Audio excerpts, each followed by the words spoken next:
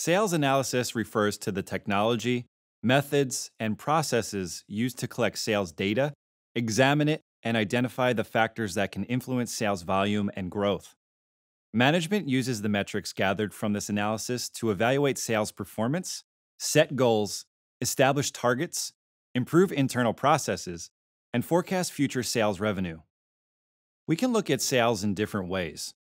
Descriptive analysis tracks historical sales data and compares it to current sales activity to better understand the factors influencing sales revenue.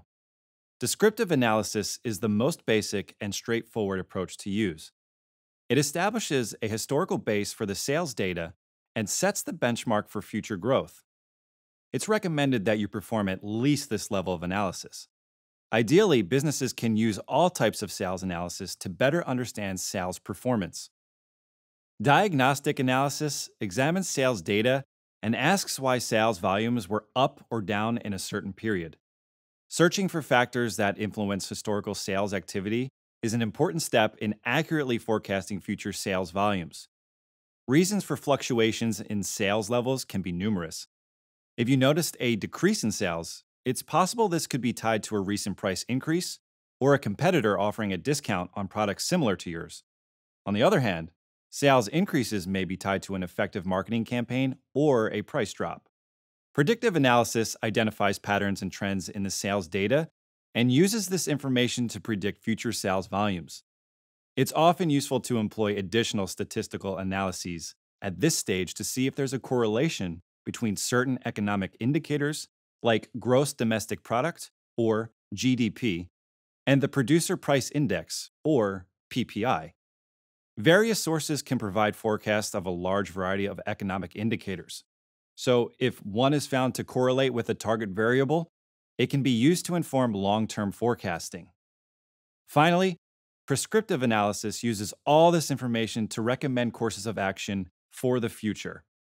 These actions are often related to sales and revenue, but they may also be useful for improving internal processes, providing additional employee training, creating more focused and customized customer messaging, and developing more effective marketing strategies. Most businesses have some level of seasonality in their sales. Companies manufacturing bicycles or running shoes will see an upswing in their sales during the summer months. Other businesses, such as ski and snowmobile manufacturers, will do better in winter months.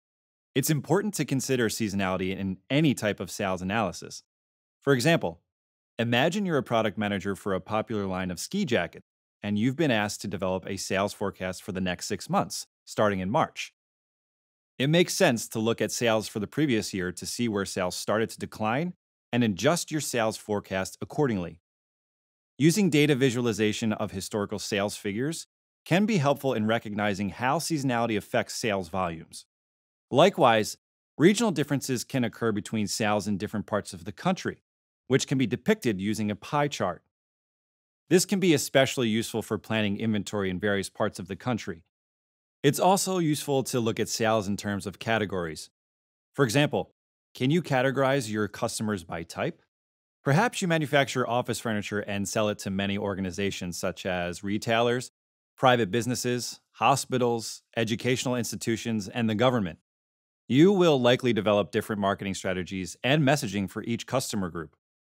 Monitoring them individually helps gain insight into how they can be managed. Sales analysis isn't a one size fits all formula. While many companies may use the same types of analyses, they'll likely apply them in ways that best fit the nature of their organization. Remember, the nature of sales analysis stems from the ability to understand your customers, and these tools are the mechanisms to do so. Congratulations! You've now completed KnowledgeCity's course on sales analytics.